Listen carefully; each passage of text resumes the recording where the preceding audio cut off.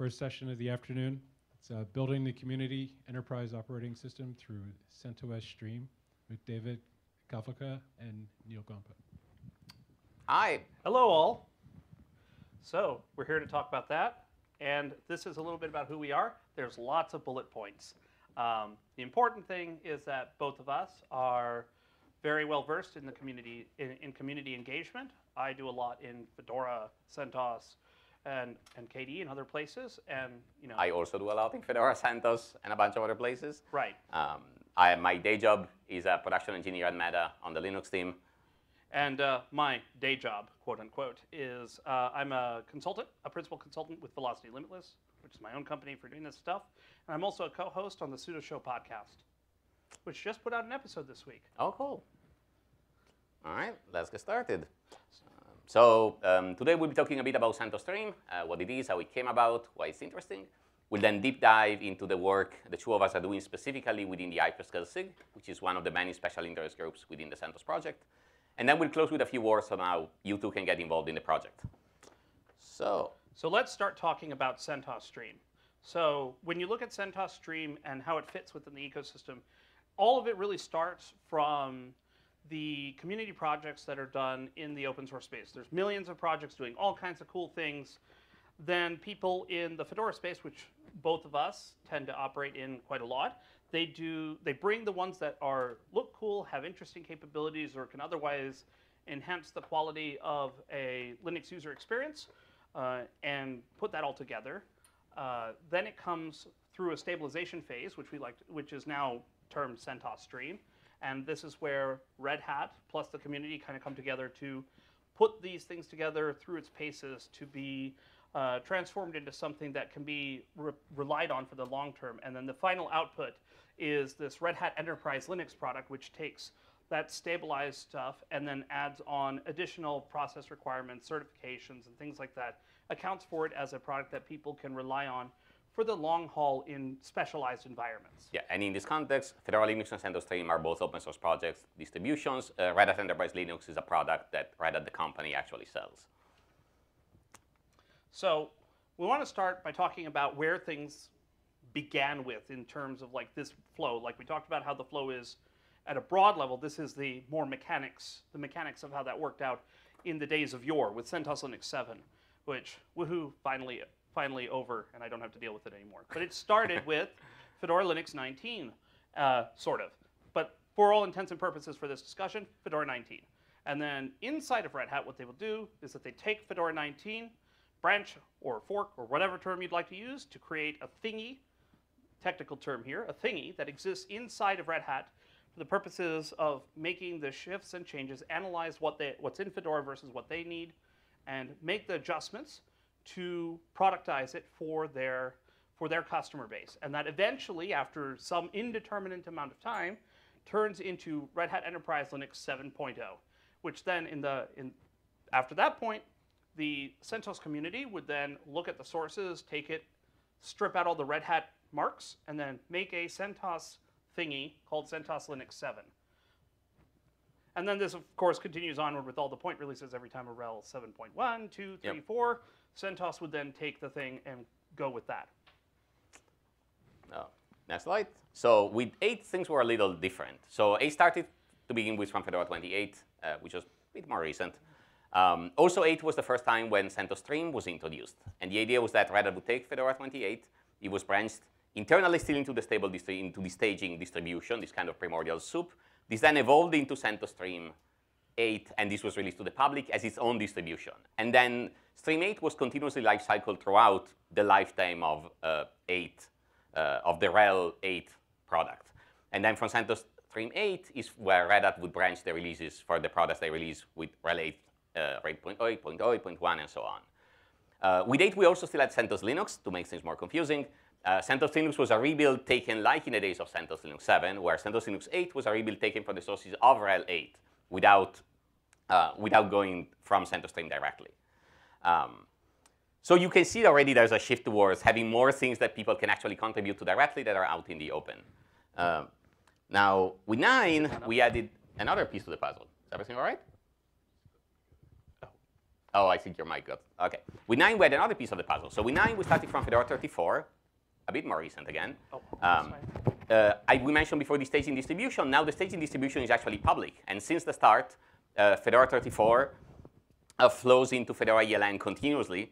Fedora ELN, and we'll talk about ELN in more detail in a bit, uh, is the staging distribution where the, the system is qualified into an, um, an enterprise operating system. From ELN, at one point, we branch CentOS Stream 9. CentOS Stream 9 gets stabilized, eventually gets released. And then from CentOS Stream 9, Red Hat releases their products in RHEL 9.0, 9.1, and so on. Uh, we don't have CentOS Linux anymore, because CentOS Linux at this point is EOL, and the only deliverable that comes out of CentOS, the project, is CentOS Stream 9. And now here we are with CentOS Stream 10. So all the things that Davide just said about Stream 9 are happening now, again, with Stream 10. Uh, we have not reached the point where there is a RHEL thingy yet, but we have the CentOS Stream 10, which was branched from Fedora 40 um, back in March-ish. And that came out of the rebuild from Fedora ELN. So they took the ELN artifacts, pulled all the stuff that they cared about, and then went through a build cycle to essentially switch all the branding from Fedora to CentOS, and have started, you know, stabilizing and integrating all the things that are needed for the next Red Hat Enterprise Linux. Um, at this point, this is the what some people would call the fast-paced stabilization phase, which is an oxymoron if I've ever heard one. But it is the important place where people like us or you can then work with Red Hat to make sure that all their concerns are heard before everything's locked in, you know, by early next year. Because you know, we now know that RHEL 10.0 will come out midpoint next year or some something like that. And so getting involved now at this point is how you can kind of shape what that looks like in the future. So to recap, Fedora is what ends up influencing the next CentOS Stream major release. Uh, you can do work in Fedora to influence the long-term direction of the industry. Uh, the work you can do in Fedora is just like day-to-day work in terms of like filing and fixing bugs on packages. You can maintain packages and add packages to the distribution for software that you care about, and you can drive changes. Uh, changes are the changes or change proposals are the primary way that the Fedora community handles uh, modification to the distribution. It's how new things are introduced. It's how, in general, processes are modified, and it's how the distribution is governed. Uh, over the years, um, we have worked together on a variety of changes within Fedora. Uh, this is a short and probably not comprehensive list. It is definitely not comprehensive. I remember that we did more. Yeah, but like in 33, for example, we worked on getting Btrfs um, shipped as the default file system for Fedora um, for um, all editions except server and cloud. Then in cloud was added then in 35. 30, in 34, we also added the standard compression support for Btrfs, uh, and we ship systemd oomd. and then with 36, we started doing stuff. Uh, we started doing stuff around making hermetic operating system environments by relocating the RPM DB user. We started uh, the fallback host name stuff in 37, um, and Thir- then and yeah, 38 switch frame pointer is on by default, uh, which helps uh, with uh, continuous profiling and debuggability in general. Um, and there's still work going on here. We have a couple of changes that we're making. We've been working for several years on DNF copy on write, uh, which we'll talk about a little bit later. Um, and Michel, who's sitting somewhere in the back, uh, has been working on firmware minimization as well. Uh, but these are just some examples of the things that we are able to change in Fedora that then eventually flow into the enterprise someday. OSs. Um, So uh, we talked about how we do things within the main Fedora context and how that can influence the long-term things. But there's also aspects of Fedora where you get to influence the enterprise Linux uh, environments directly, and one of those is through the extra packages for enterprise Linux project or EPEL. And so this provides additional packages for uh, for the Red Hat ecosystem, enterprise Linux ones, ba- uh, based on Fedora packages that are in the mainline Fedora distribution. And one of the bigger things that we have kind of spearheaded is to have this EPEL packager SIG to streamline the processes for bringing content from Fedora to the enterprise Linux ecosystem uh, in EPEL. Um, Michel, again over in the back, uh, he wrote this wonderful eBranch tool that makes all of our lives easier for actually shipping software quickly. Um, and this is like a big aspect of how, for a lot of people, um, this makes the enterprise Linux platforms such as CentOS Stream and, and Red Hat Enterprise Linux and so on uh, useful and, and, and something worth actually being able to build upon. Yep. Uh, next slide. Um, now let's talk about ELN. Um, ELN is a continuous rebuild of Fedora Rawhide. Rawhide is the, the development distribution of Fedora, so it's where changes land first. And ELN is a continuously built override with the CentOS macros and toolchain. So it's as if every day we were making a new CentOS stream release based on today's Fedora. And this is really useful because instead of having to do all of the work to bring up a new release at the end, we can just like spread it continuously throughout the lifetime of Fedora. And whenever changes come up, we can immediately assess what the impact is going to be. Um, this work is done by the ELN SIG within Fedora. Uh, SIG is a special interest group. It's one of the governance blocks that the project has. Uh, the SIG mostly focuses on enablement work, on tooling, on infrastructure around keeping ELN working. Um, the SIG also worked on establishing ELN extras, which is a way to get coverage for packages that won't be part of CentOS Stream NRL, but will be useful for things like EPEL. Um, and the state of extras right now is kind of in flux. Uh, we've, we've used it and we've got signal on what would be useful um, in the future for future releases, and we expect for EPEL 10, for the 10 release cycle, this will be a lot more streamlined to flow changes from extras into EPEL 10. Yeah, a good example of this, where the ELN uh, work has actually been very helpful, is making sure you know one of the most popular things that come out of EPEL is um, KDE Plasma, because KDE Plasma as a desktop and a technology stack is not included in Red Hat Enterprise Linux, but lots and lots of people want that, and it is a big stack that can be very complicated to bring into EPEL without any early signal to understand what is needed and what is missing. ELN Extras allows us to have a continuously building uh, set of content for the KDE stack to make sure that we have identified what we need to do to bring it into the next enterprise Linux release and bring it in very quickly. Um, and with my Meta hat on, um, Meta runs CentOS Stream on the whole production fleet, so it's like millions of machines running Stream. Uh, but we use ELN to make it easier to do qualification of the next CentOS Stream major release. So we can do continuous testing and integration, and whenever changes land in ELN, we immediately know, is this going to be a problem? And we can start working on it early on, instead of having to scramble at release time to fix all of the things all at once. You mean you don't like doing that? No, I do not, especially not with a small team. um, right, and so this all kind of comes down to now we're talking about the actual CentOS Stream releases, particularly in this case, CentOS Stream 9. As, as we've kind of mentioned before, it's a continuously delivered distribution that is aimed around a particular enterprise Linux release. In this case, for CentOS Stream 9, it's based on, it's the RHEL 9 platform. You can file and fix bugs and stuff like that with the RHEL project on the Red Hat Jira.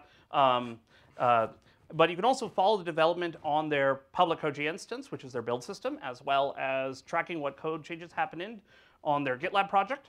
Um, change is basically driven in CentOS Stream from the, the top of the layer cake uh, flowing downward. So if you think of like syrup coming down the, the cake, then that's pretty much the way that it goes.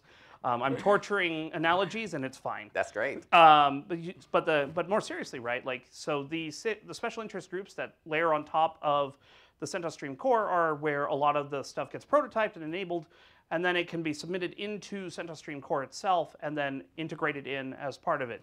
And you know, you can test out daily composes that are going to be, get pushed out, and they're available on the Mirror network, so you have access to all this stuff. And CentOS Stream tends to push out stuff to the Mirror network like weekly. Um, and yep. then if you want to have more frequent, if you like to do more frequently stuff, you can just grab the composes directly and, and do fancy things. Yeah, or if you like having synchronization points instead of a continuously updated mirror.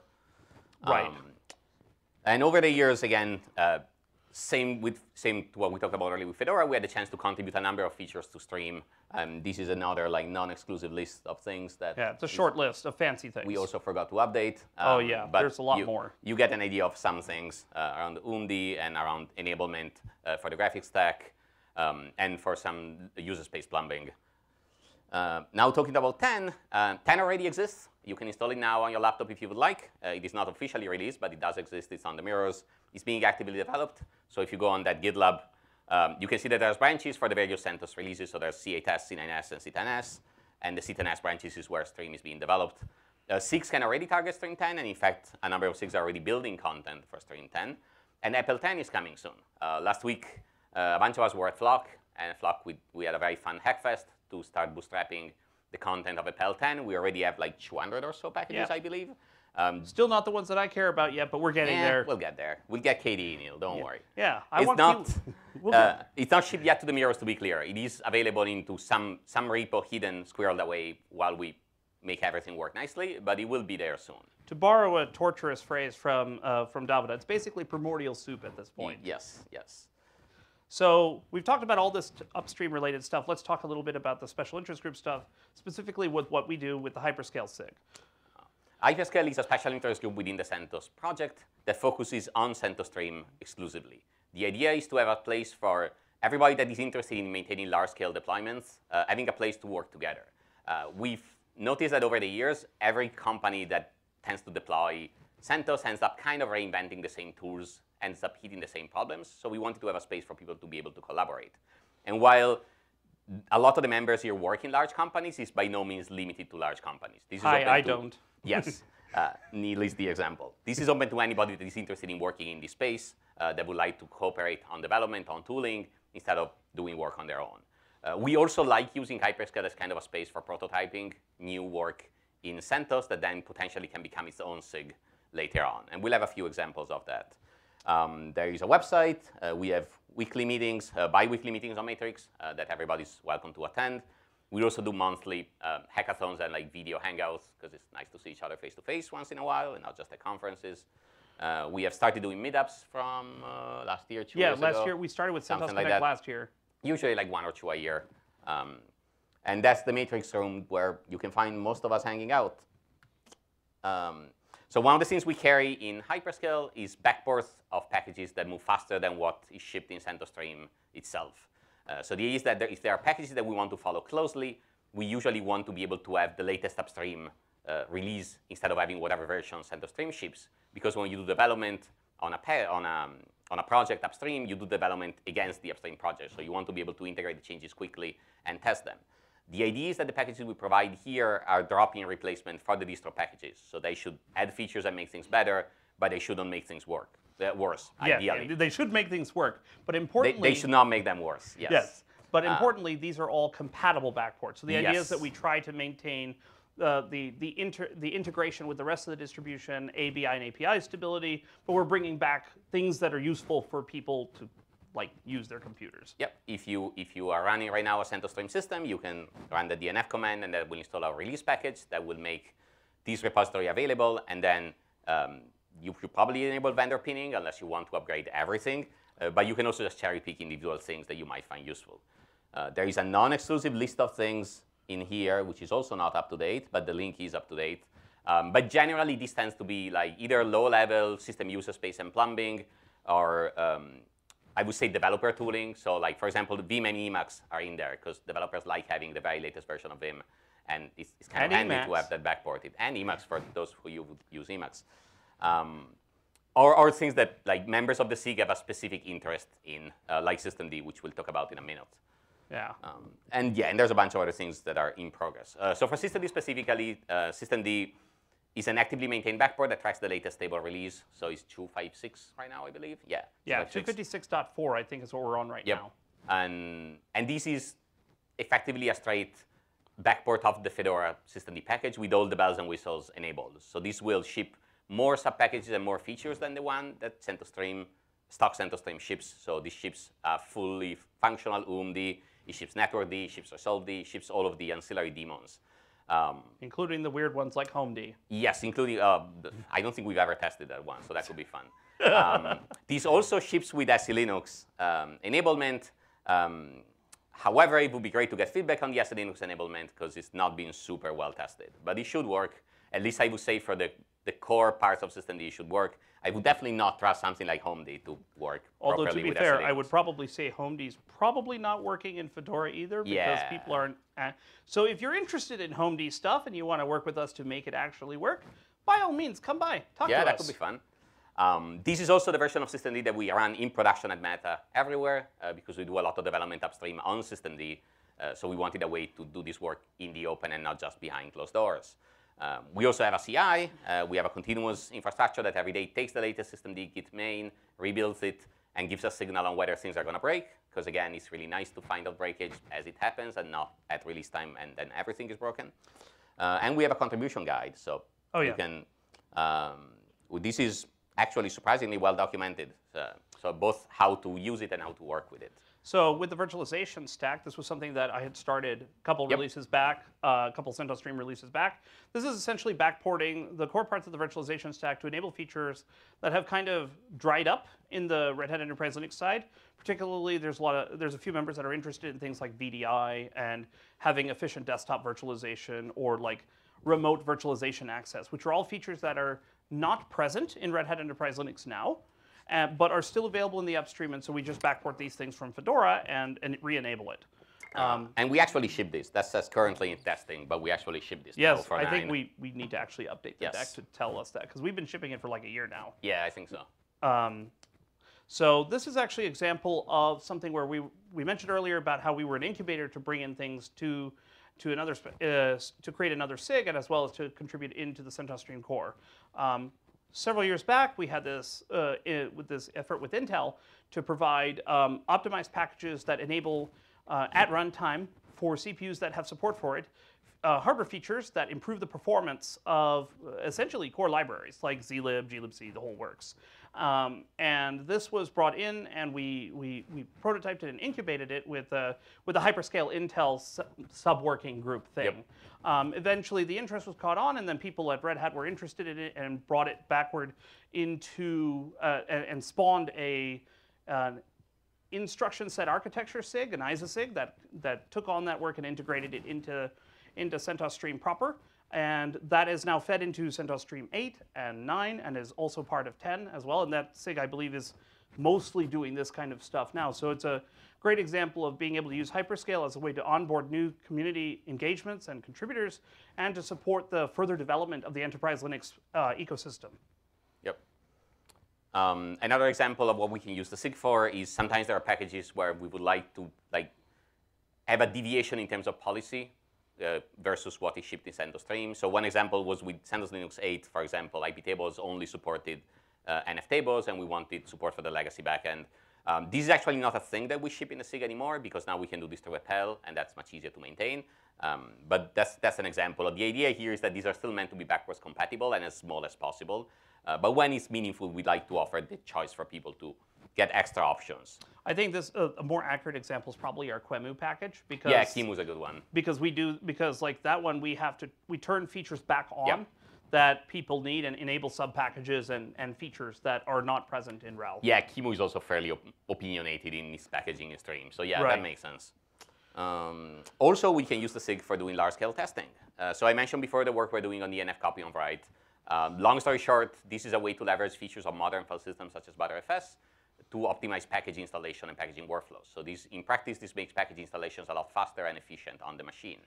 Now, this work requires changing RPM, DNF, and various components of the packaging stack. It's been in development for several years. We've been working with the, with the upstream folks in RPM and DNF in getting it upstreamed, and it's been through several rewrites. It, it will get there eventually, but it I- is I a hope so. sizable amount of work. I mean, Uh, one of the things that made this particularly exciting for me is that, like, so as part of some of the hyperscale stuff that, that we do is, which we'll talk about in a bit, is that we build images using you know, the Kiwi image build tool and all this other stuff, and we build these images, and the way because of this enhancement, we have we can make our image builds go from like seven ten minutes to like two.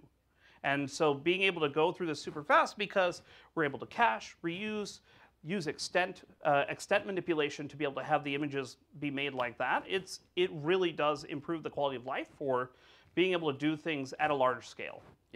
Um, and because we would like to deploy this in production and Meta, among other places, uh, it makes sense to have a place where the whole stack would be available so people can just DNF install uh, the release package, and then if you upgrade, the whole stack gets deployed. Um, this works. It is something we're actually running in production. It's also something I happen to run at home. Um, but we do put it in a separate repository because this changes fairly significantly the behavior of components, low-level components in the system. So we didn't want to just unleash this to everyone while it's still in active development. Right, and related to that, right, we also have a, a kernel. Um, currently 6.8. Hopefully soon I will release the 6.10 that I've been working on. It's been a weird going process. We previously had our kernel based on the RHEL kernel with doing contributions to the to the RHEL kernel to enable uh, to, to have code backports and stuff like that. As we started needing new features and more improvements, it became too difficult for us to do that, so we've rebased to following the Fedora kernel. And we have a kernel that has, you know, we build for CentOS Stream 9. Soon we will have CentOS Stream 10 once the quirks that I've been discovering get fixed. Um, we have Btrfs support and notably also binderfs support. There was a few people who were interested in being able to do Android development from, uh, from a CentOS Stream machine uh, because they want a long-term stable platform to be able to do all this stuff and, and android development is a pain in the butt on anything and so being able to do it like once instead of like every few times win so we turned that on. And we the main thing that keeps this as experimental is that we don't have secure boot enablement. There's a ticket open. We'll hopefully someday have that. But otherwise it's a pretty solid process uh, and, a, and a solid uh, experience uh, from what people tell Yep. me. Um, so again, I mentioned that we used to be based on the 514 kernel for CentOS Stream 9. Um, this was, as we were doing that, we worked with the, the RHEL kernel developers to you know, backport and improve features, uh, fix bugs and stuff like that, and also to make it easier for um, uh, if you, you know, the Kmod SIG, which does a lot of building kernel modules for the RHEL kernel that are not turned on in the RHEL kernel itself. Uh, we helped enable that things like having Btrfs on, on stock CentOS Stream 9 and also for RHEL 9 itself. And that was part of that. And as, again, related to that, need to update that link. That link is wrong. um, the, we have a contribution guide to help Yes. people um, contribute to the RHEL kernel in a way that makes the RHEL kernel engineers not cry, which is uh, important. Uh, people crying from receiving contributions that don't make sense, not okay. But uh, so we, we, we worked very hard to try to make sure that we have a good process for enabling people to be successful engaging with the various aspects of the core CentOS Stream community. Uh, on the user space side, we backport various parts of the user space that's needed to enable Btrfs support. Um, we also uh, ship a version of Kpatch um, that is actually useful if you want to build your own patches. Kpatch, as is shipped in CentOS and in Red, is nerfed in that you can't build patches. You can just use patches that you get from Red Hat, I assume. Yeah. Um, but it's useful to be able to build your own patches if you happen to lifecycle your own kernels, so we restored that support. And we also backported um, support for PGO optimizations and for Clang-built kernels. Um, we are short on time. Um, We have containers. we have containers. We have a container image that you can play with. The automation to build these containers is currently broken, but we will get there eventually. If someone here really likes OpenShift and wants to help us fix it, that is appreciated. we would like to rework this so that we have something working for CentOS Stream 10, as we're trying to launch that soonish. Um, We have the live media stuff. Remember, we talked about all these other pieces of the things. The, uh, we have the, the hyperscale spin, and the live media is the main output of that so far. There'll be more things. We have cloud images that are being worked on. I didn't put it in the slide deck, ran out of time, but they're all there. This essentially lets you try everything that we're working on all at once. The virtualization's integrated, the system is integrated, the RPM cow stuff is done, Btrfs is on by default. We have all the, the Z standard compression, all the other features. We pull in essentially the latest that we got from Fedora that we've contributed to, bring it into CentOS Stream, and package it up in a way that you can use it like that. And with that, let's talk about how you can also get involved. As we mentioned, CentOS as a project, uh, there's a blog that you're welcome to read. There's a mailing list where most of the project discussions happen. Most of the SIGs within CentOS have open meetings. Uh, there's a community calendar that you can join. You can join any meeting at any SIG. Uh, people are generally very happy to have folks engage and ask questions and be involved.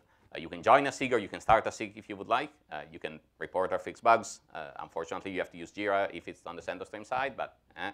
Whatever. Um, you can maintain packages in Fedora or in EPEL, and you can contribute to Fedora directly. Uh, there's a really good article in the Fedora magazine about that. Uh, and finally, uh, we give a lot of talks uh, that cover all of the things we talked about in detail, and you can Like find this the list there. I believe that's all we had, and there is time for questions.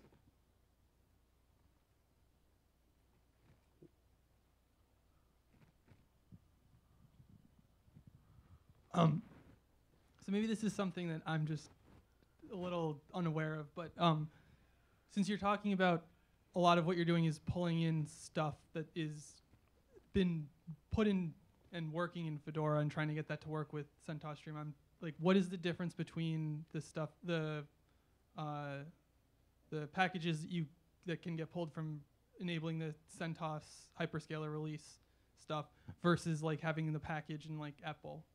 So usually, the we if we can do something in EPEL, we prefer doing it in EPEL because it's a lot easier for everyone and it's more widely useful because packages in EPEL are also useful for folks running Red Hat Linux straight up.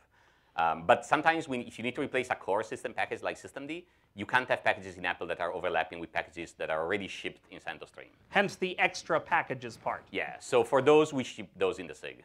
Right. And if there's something where like it could be an EPEL, but it is basically useless without some enablement that we do in the core package set, we mostly try to avoid putting it in EPEL because we, we're not putting packages that are useless. Yeah, One thing we started doing a bit more is try to use EPEL for uh, sub packages. So sometimes what happens is that Red Hat will carve out some of the sub packages of a package that they ship in CentOS Stream and RHEL. Um, but the sub packages are still useful and they still work. They just add additional stuff. And if we can maintain those in EPEL, again, it's less work for everyone. So we try to do that. That requires a bit of like finagling, but um, the workflow is still not fantastic, but it's getting there. Uh, there was another question, I believe. Yeah. it was more people. Uh, thanks for the talk. It's really cool. Um, early in the talk, you mentioned uh, the continuous build nature of, of how these images are created or how the, the output is created. Does that also imply that there's like a continuous testing that's happening, or is that on like a per Yes. project basis, or how does that work? So there is testing on all of the steps. Uh, so Fedora does its own testing and integration, uh, both on a per package basis for packages that have their own testing at compose level with gating and with OpenQA. CentOS Stream has uh, gating on every MR. So whenever there, all the changes that flow in stream flow through a merge request, and on every MR there's tests that are per package, and then there's also distribution level testing. And then also Red Hat has actual humans that perform QA on, on it. Um, and then RHEL I assume does its own internally, but I don't work for Red Hat, so I don't have visibility in that. But I would assume Red Hat that both has automated and human QA for their product that they sell. Right. So if you want to think about it this way, Fedora has um, machine uh, has uh, functional testing and HCI testing. Then you have CentOS Stream that does integration testing, uh, and then you have uh, RHEL that does uh, um, uh, uh, product testing. So Yep. that, like so th those are the different layers here, and and they they don't just go straight downward. They kind of also go up. So you tend to see things flow in both directions, and it, it's like a puddle with ripples. That's the best Um, I could go with. I, I will point out that there is a special interest group within CentOS that works exactly on this. It's the integration SIG. There's documentation there that I don't know if I can pull up because I don't know if internet works, but that there's a diagram that explains how it. the flow works very well. Um, and there's also work going on in making the tests that are um, that used to be behind the RHEL firewall, so to speak, more widely available so that people can contribute to them. And that's all actually going all the way up to Fedora and then being branched into CentOS automatically. So Yep. a lot of the Red Hat testing work is being pushed back up to Fedora for maximal benefit. Very cool. Thank you. Thanks for the talk. Very informative. Sorry. Is there any work uh, around CV tracking for the SIGs, for EPEL, for CentOS Stream? Because the other day I was checking Red Hat's Bugzilla, and there were thousands of EPEL tickets, EPEL CV tickets, um, until EPEL 8 or so. Now that it, there are none. So i- is there any work in that area? Because I think So- that's one of the things that prevents people from using it in production. There are different levels to this question. I believe there is CV tracking for EPEL. There's actually. CV tracking for all of the Fedora project, which includes extra packages. But here's the thing. With the exception of the product Red Hat Enterprise Linux, no one is actually paid to do security work. So if security work is something that you care about, this is a point of contribution rather than a point of uh, derision. Um, so like, I, I'm serious, right? Like you, you can't expect people who are not who, who don't have the bandwidth or the time or the wherewithal to be able to pull that stuff off. Um, now, speaking about the special interest groups, SIGs can opt into this process uh, as they so please. For example, we recently joined, the Hyperscale SIG recently joined um, some, some of the groups that are needed for doing CVE tracking on select components that we maintain. Um, and that sort of thing can happen, and it does when, when teams opt into it. But in general, I would say that you can, you can see CV reporting being relatively consistent, but depending on who is able to work on it and what kind of time and skill that they have, it kind of depends. If you care about this kind of stuff, this is a point where you can come in and help. And, and that's what I would encourage people to do. Michel. Hi, um, hi. I'm Michel. Like, um, I'm like um, involved in like uh, getting hyperscale into the Linux distribution um, security embargo list. Um, but yeah, like um, uh, in the EPEL like uh, steering committee, we did look at like uh, there was an effort a couple of years ago to start driving down CVEs. A lot of the problem is that, um, especially for older EPEL release like uh, EL7, uh, because we cannot ship incompatible upgrades you kind of like, well, this is a bug. it's also a really old package, and like uh, you really shouldn't be using it. We do have a policy for like um, you know like you you can retire old packages on the ground of security issues and ship replaces for new packages. So yeah, it's a, it's an ongoing effort, and we welcome any help. A lot of the problem sometimes that uh, packages get branched for EPEL and then not really maintained because people just branch it for dependencies. Yeah, So, yeah. and and again, this also comes back to, you know, you there's a special level of skill required to be able to do security fixes on releases on versions of software that are not changing. This is a real specialty that Red Hat provides as an offering and a service with Red Hat Enterprise Linux. Community folks, eh, the skill levels go all the way around, and it kind of depends whether or not they're capable of it. So it's hard. All right, we are out of time. Thank you, everyone.